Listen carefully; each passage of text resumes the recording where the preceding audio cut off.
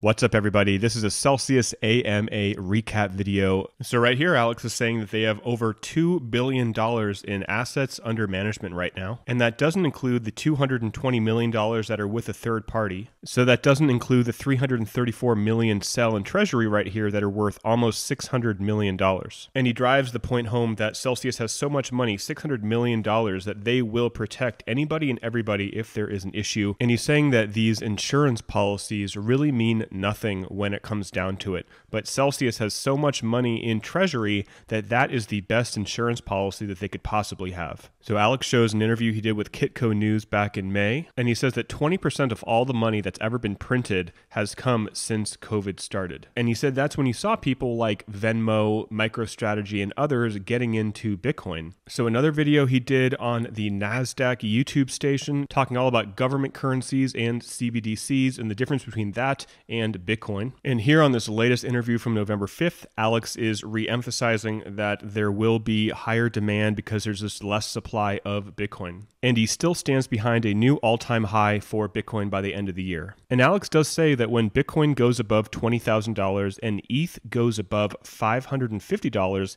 he said to start trimming. So he says taking some of those profits and putting them into more non correlated assets like Pax Gold and Tether Gold. Or he said go ahead ahead and purchase something like USDC, convert some Bitcoin to stablecoin, put it in the Celsius wallet, and you're still earning around 10% yield. So here Alex is talking about the partnership between Bitfinex and Celsius. If you have coins in Bitfinex, you do not need to take them outside of Bitfinex. You don't need to send them to Celsius. You can still earn the yield inside your Bitfinex wallet like you would inside your Celsius app. Here, Alex is talking about the Bitcoin charts, saying that we had some big resistance levels at 10,000, 12,000, but these big companies like PayPal and Square and Cash App coming in really help move the price up to these new levels. And he's saying that this increase in price is not being driven by institutions, these are private companies like PayPal and Cash App. And talking about the Cel token, Alex is saying that the people who are hodling and believe in what Celsius is doing,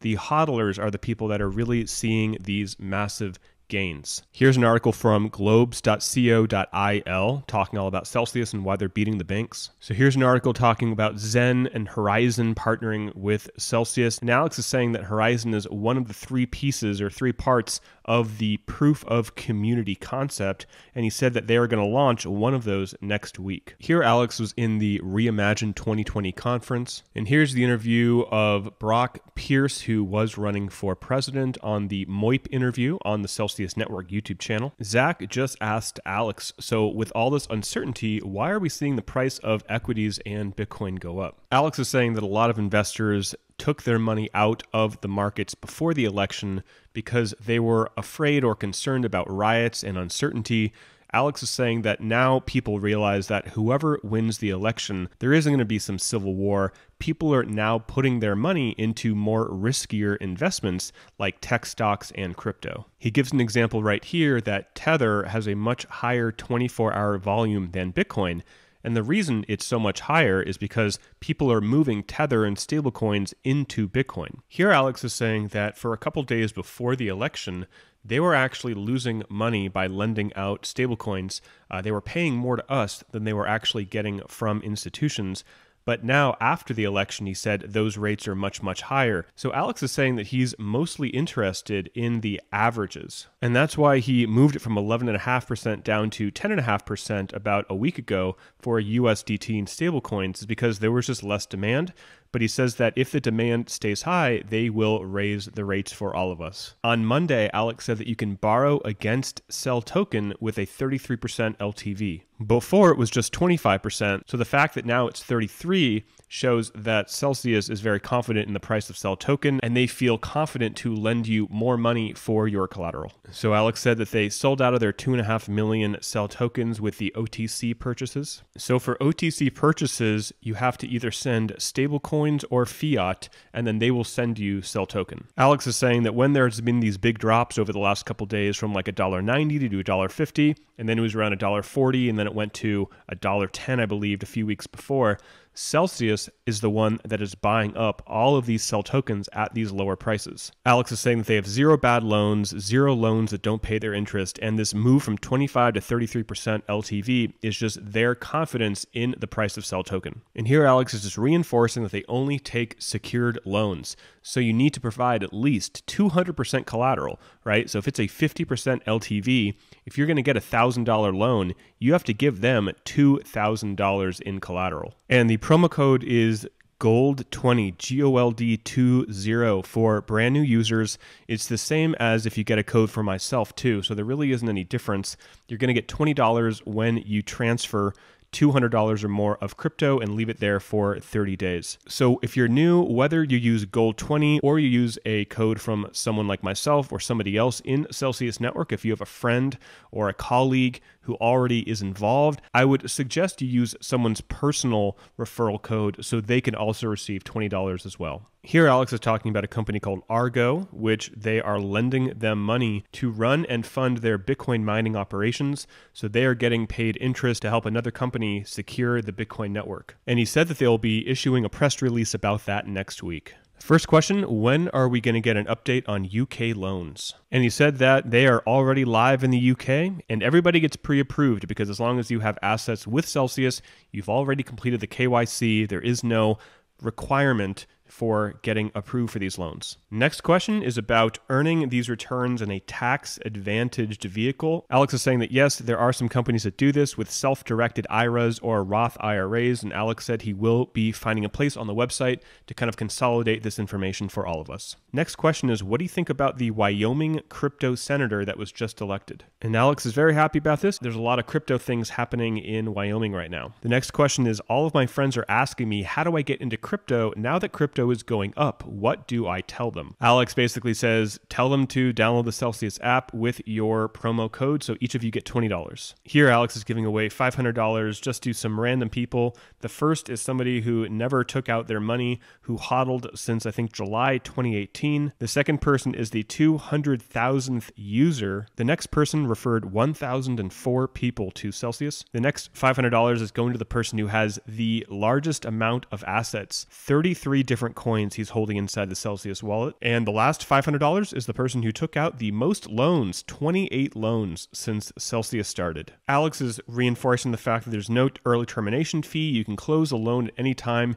The only thing they require is six months of interest. So if you were to open a loan and then close it a week later, you do have to pay that six months of interest. But usually that's, you know, $10 or so, depending on how big of a loan you are taking. Versus other companies like BlockFi that charge a 2 to 3% origination fee just for opening your loan. The next question is what are they going to do as a company to celebrate the 100th person who's become a millionaire inside of Celsius? Alex is saying that once Corona's over, they will be having more get togethers and parties, and they will be having more of these celebrations.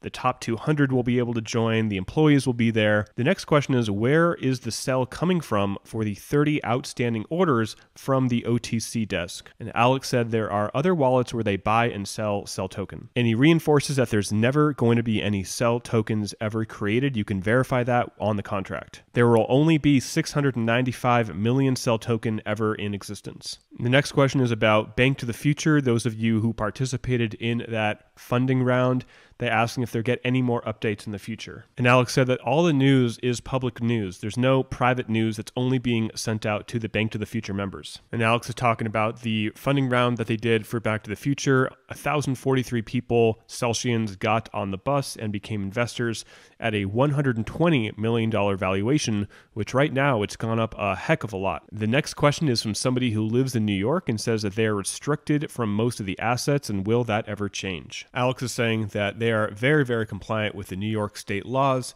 And when that changes, Celsius will be adding more coins to New York residents. Alex actually says that your inability to purchase and do different functionalities are actually because your phone is in New York. He says that if somebody is a resident of Amsterdam. If they come to New York, they can't do certain things than if they were in Amsterdam. Next question is Will we ever be able to hold fiat in the app? Alex said that it's complicated because you have to be a bank to take fiat deposits. He said that they could go to the state of Wyoming and apply for a license to become a bank, but then there's a lot of things that they could not do because they were a bank. And Alex is saying that they're waiting for the benefits of becoming a bank will be much higher than the limitations of becoming a bank. But we are not there now, and they are waiting for that point to even consider becoming a bank. The next question is why does Pax Gold and Tether Gold often have different prices? And Alex said that yes, they both are pegged to gold, but just like Bitcoin could have a different price on different exchanges, so can gold. And he's saying the benefit of Tether Gold is that you can actually redeem physical gold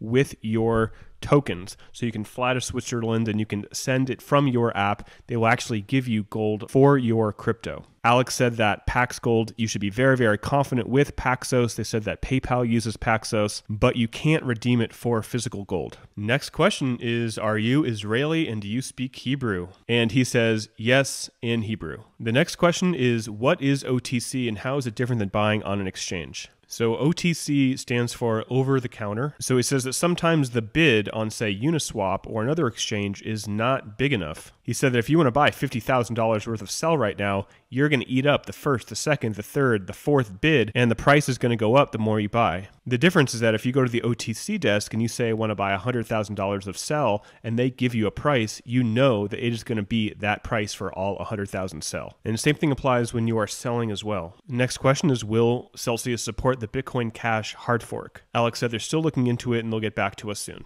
Next question is about more support in Spanish. And they say that there are a bunch of Telegram channels in all different languages. Next question is about Ethereum 2.0. And Alex said they are going to be staking the ETH 2.0. And he said that the average income for ETH holders is actually going to go up. What Celsius is going to do is blend the staking fee plus all the income you're going to generate from the institutional lending. And the average is going to be much higher. And as a user of Celsius, you will be earning much more than just the staking fee. Here, Alex is talking about that the higher the price of Cel token is, the less they have to buy every single week. Next question is if Cel goes up too fast in price, does that cause a problem with Celsius? And Alex says no, it's not going to cause a problem. Alex said that they have about 40 to 50 million dollars of US dollars on their balance sheet right now in addition to what all of the Cel that they own is worth, which is about $600 million. Alex said that if you find an error on the desktop portal, they will send you $1,000 to point that out to them. And that's it, guys. Thanks for watching. Make sure to subscribe to my station if you want to get these as they come out and other news on Celsius Network.